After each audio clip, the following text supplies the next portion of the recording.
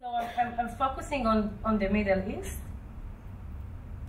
Uh, and these are general crime rates in the Middle East. Uh, you can see that if we focus only on crime, uh, Israel still in the Middle East is in a good place, is not uh, uh, near the uh, most, I call them criminal.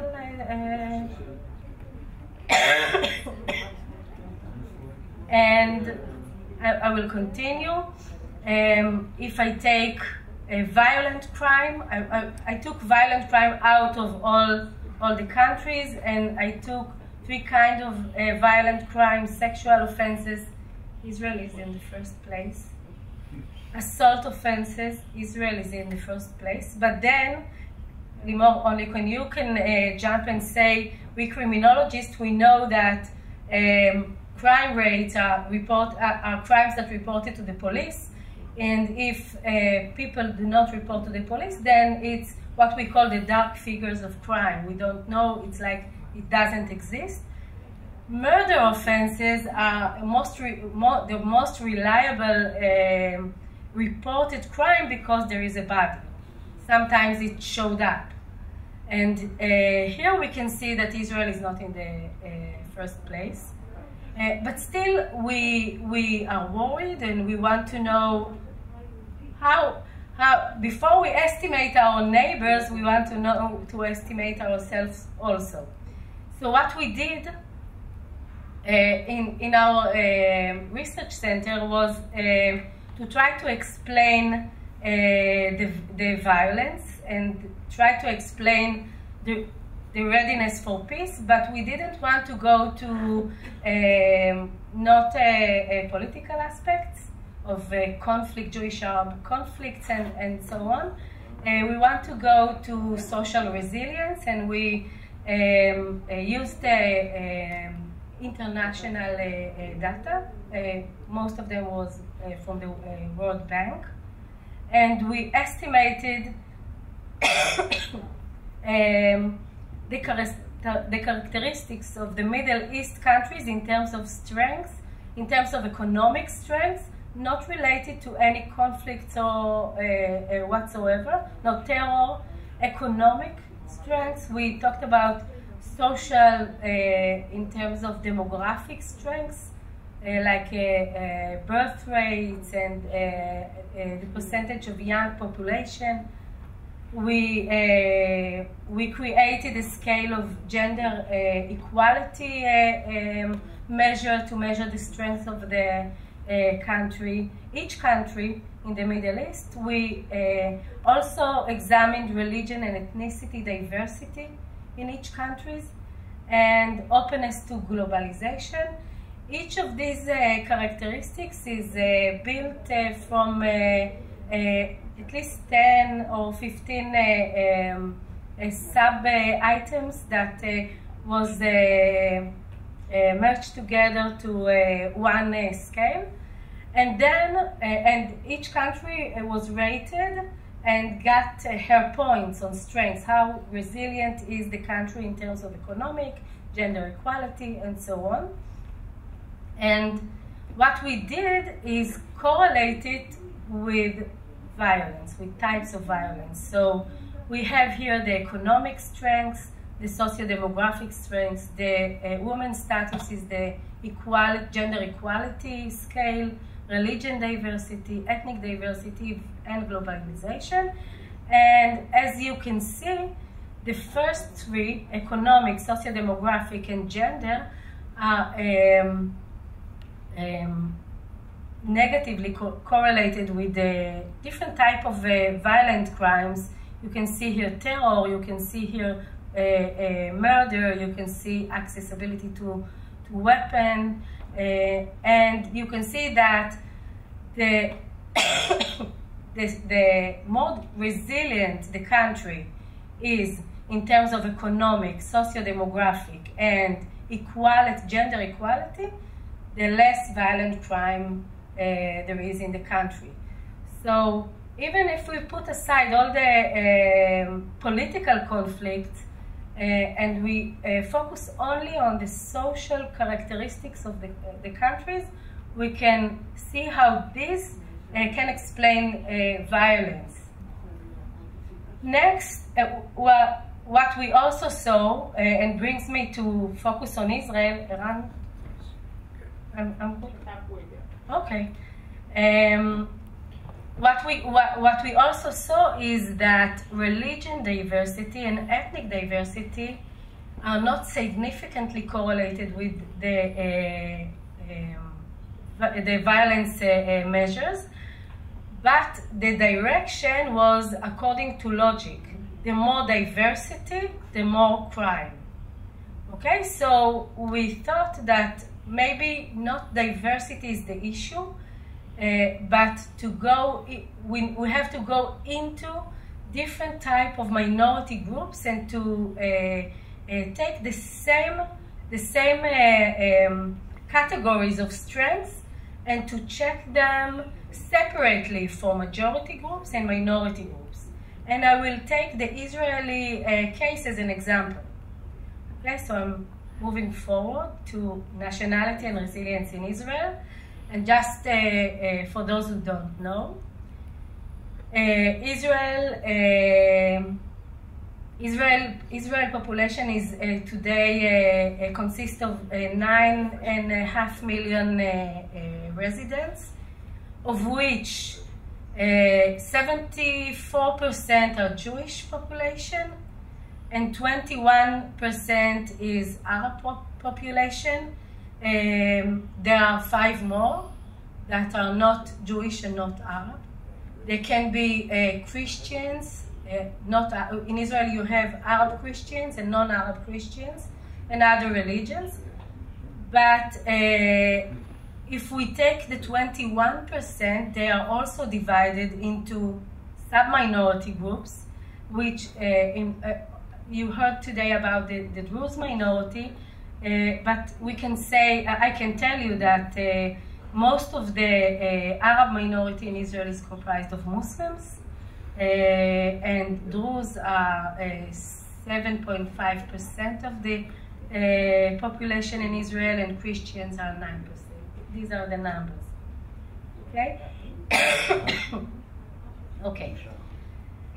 Uh, what what did I what did we do in order to, to, to study the case in Israel? The same that we did on, uh, uh, on the uh, Middle East uh, level, but uh, now instead of focusing on countries in the Middle East, we focused on uh, 255 local authorities in Israel. So we are focusing on cities. I, I can say from ahead that it was only cities that are above 2,000 uh, citizens, uh, basically because of the availability of data, nothing else. Um, 2,000, Alpine, 2,000 citizens. Um, so you, you can see here only local authorities that are above 2,000 uh, citizens. Uh, it's, it's according to the uh, classification of the Bureau of Statistics in Israel. We have 152 Jewish authorities, we have 25 Arab authorities, and we have 18 mixed authorities, which are uh, Jewish and Arab together. And I will also say that out of the 18, eight are mixed cities like Akko, and 10 are regional uh, authorities. So they have a lot of uh, small villages that uh, are under one regional authority and uh, since they, they are um, managed through this authority, it's mixed. But I will also say that even in Akko, uh, which is a, a mixed uh, city, there are neighborhood for Jewish people neighborhood for other people. So when we are talking about mixed, it's, it's mixing. Okay, so these are the study population as, and, and uh, we use the Israeli Central Bureau of Statistics data to measure education, population, immigration, income, and all other uh, measures. And we used police record data to measure the rates of crime according to different type of crimes. These are the numbers. Uh, if you if we look at the crime rates according to nationality, so I took uh, juveniles aged between 12 and 18. 55% uh, are, Jew, uh, uh, are Jewish juveniles and 39% are Arab juveniles. Remember the, the ratio of, um, I will show, 74, it was, 74 and 21. So in crime, it doesn't uh, continue this uh, uh, pattern. Arab, the Arab the Arab population is over um, uh, represented in, in uh, the crime rates, and the Jewish uh, and the Jewish population is underrepresented. If you want it in in rates, then um, these are the rates. Six, uh, six, uh, six adolescents per 1,000 Israeli person in the Jewish um, population and 10 in the Arab population. And if you want to see the numbers with adults, it's the same. Okay? And these are the number. You can see that it's three times, the rate is, of Arab are three times than uh, Israeli. And, and we ask why. Okay, I will show you, I will show you another um, uh, graph. And this graph show crime rates. Again, we see only uh, uh, the all crime rates together, but you see it with the, the, the um, uh, control of uh, type of cities, and you can see that most of the problem is in the mixed uh, areas, Jewish and Arab live one side another. So the, you see it in orange? The orange is the mixed cities, and you see that violent offenses are very high here. Uh, there is a mistake here, property offenses and uh, drug offenses. And uh, national security offenses, it, it, uh, in Israel, is, it's a very sensitive uh, um, offense. But uh, um, since Israel is defined as a, a Jewish state, in, in most of the cases, Arab are doing the uh, national security offenses. You, you see less uh, cases of uh, Jewish people that uh, does that. So this is why you see here that it's uh, higher. So we know that living together doesn't probably doesn't do something good, but we want really to to take out from the equation the the, the aspect of conflict and to focus on as I said before, uh, social, uh, education, and all other factors. And it, this is what we do. We try to examine how can resilience reduce crime. So to, we want to take, we want to understand it and then develop a, maybe policy uh, application from that. So we built again uh, scales for each uh, subject Okay, we built again scales of, uh, of uh, for each subject and I will run. You can see here um, the, the subscales that comprise this, the, the full scale and this is demography so you can and, and these are the types of uh, crimes and you can see that uh, the younger the, popu the younger the population uh, the more uh, violent uh, offenses, um, the more property offenses and total crime rates are rising up.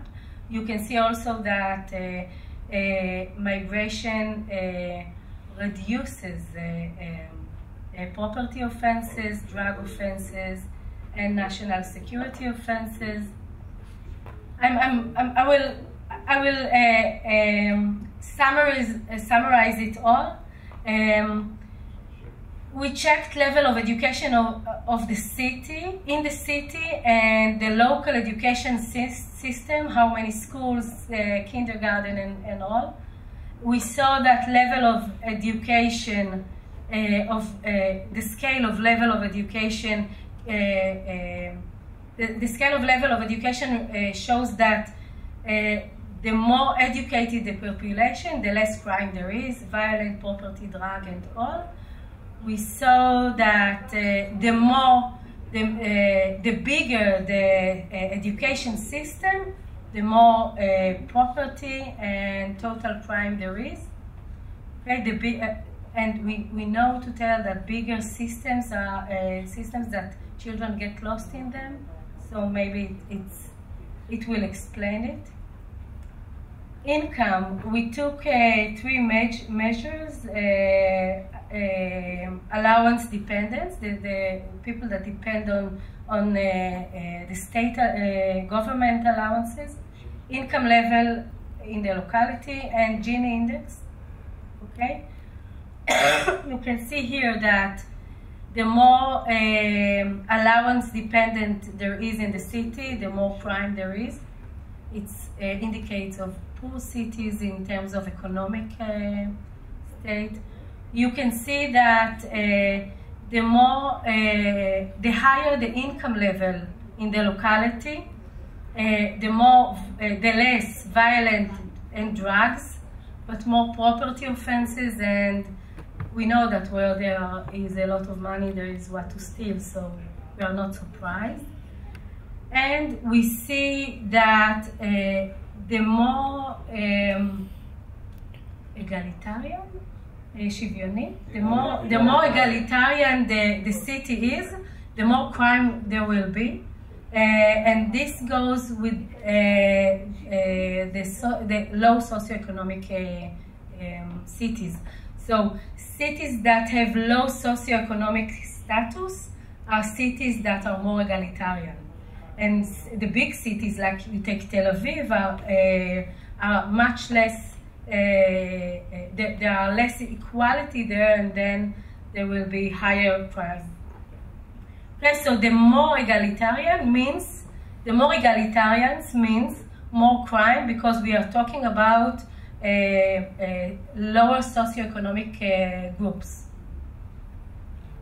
And um, we, we went over uh, the authority budget. I'm going to cut it and um, yes, I, I, don't need more than that. Uh, uh, local authority areas, how the city uh, utilize authorities for education, for social uh, welfare and all.